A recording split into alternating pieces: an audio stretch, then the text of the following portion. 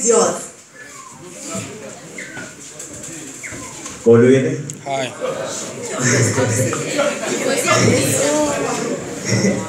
igama lakabongile uh estage abo speed ayipoem engizoyenza ithi site syt uzoyazi bemilisha ntoni after one have done it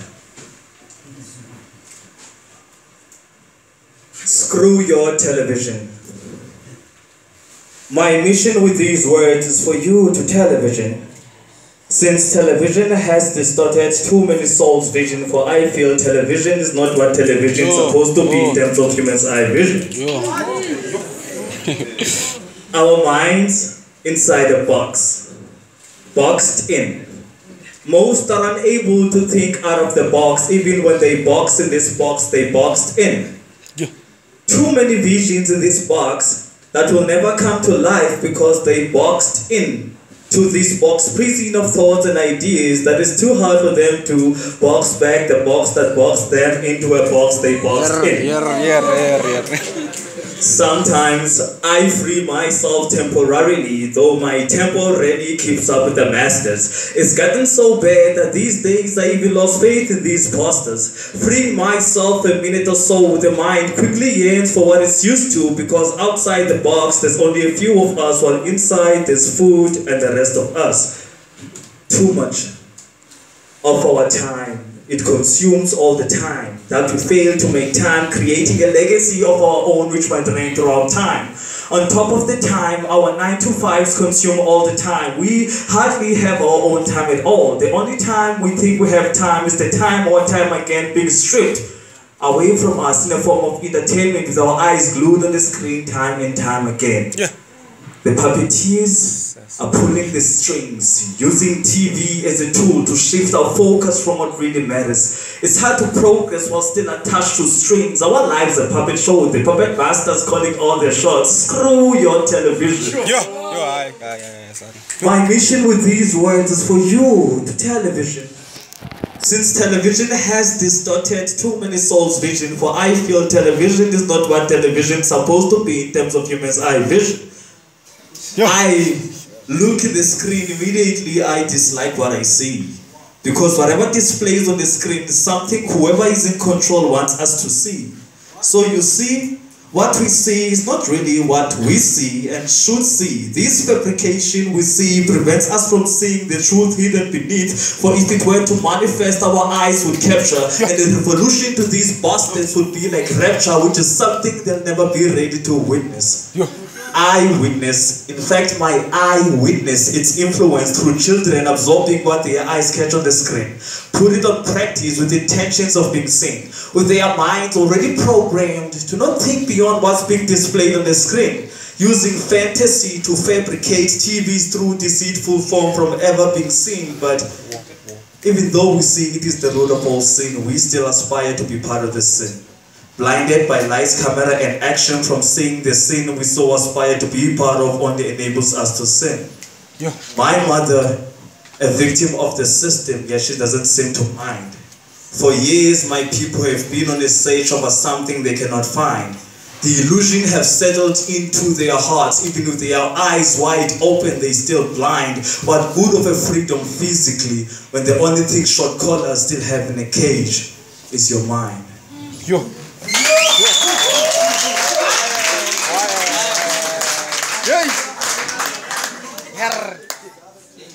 Yes, yes. Uh, the second one is very personal to me. Uh, it is called Everything He Was. Boxing is a very personal sport in my life. On a daily basis, I was audience to a boxing match between dad and his wife. My mother's face was a fist, where his feast would always feast upon. And there was never a day whereby her face would not face a face where his feast would feast upon her gorgeous face. He was supposed to be the one who's got her back. Instead, he left multiple bruises on her back. Still, those bruises on her back never prevented her from always having his back, even though she knew he would continue bruising her back when he comes back. Her screams, and his constant verbal assault was everyday music in our house. The music he composed was never meant to be heard outside our house, for it will expose the deeds my father did, which made him resent exposure. Though her body remained a piano where his hands would compose multiple melodies on without ever losing composure. He was also an artist and perfected the art of, of leaving marks on her body. Her body became his palette, where he would paint multiple bruises on with his hands like that of Picasso. Every single day was an omnibus of the same drama. Not even once did she go to sleep without him casting stones that hammered her self-esteem. Yet by dawn he would wake up and make up. Her bruises would be covered with makeup, and I couldn't make up what was up with her, for she never considered a breakup, though continuously her face by his fist was always mashed up. Yo. Ay, ay, sabi. She would say, The man I once fell in love with is still in there. Maybe if I just hold on a little bit longer, I can reach out to him down there. I think the man she fell in love with was never there to begin with. He only portrayed the perfect character that she eventually fell in love with. I only understood the concept of soccer through him where he would kick mom on the floor.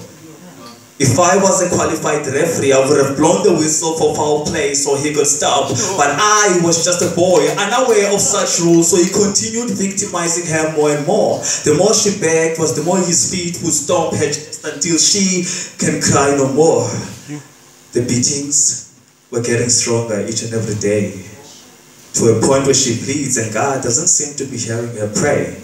My dad, a predator, my mom, his prey, where each night he would seek to pray. Despite God not answering her prayers, she would still go down on her knees and continue to pray. Still, by dawn, he wakes up and makes up. Her bruises would be covered with makeup, and I couldn't make up what was up with her, for she never considered a breakup, though continuously her face by his fist always mashed up until she had enough of such life Yo. and took your own life with a kitchen knife. I personally feel that my dad never truly deserved such a wonderful wife. But then again, I guess that's just life.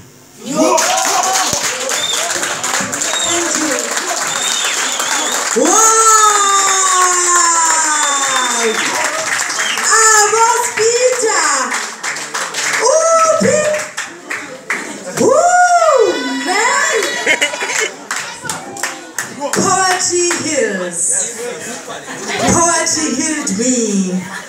Thank you, Abo-spitter. And be a different man from the man in the poem. Thank you so much, my love. Poetry heals. Okay. Wow. Amos Peter, Abongile, Jamela. I recognize the name from my Facebook friends. Um, ngoku sizawufumana umandisi bonga jonga ndiyavuya ndiyojaji qha እንቆስ ዮ ሃ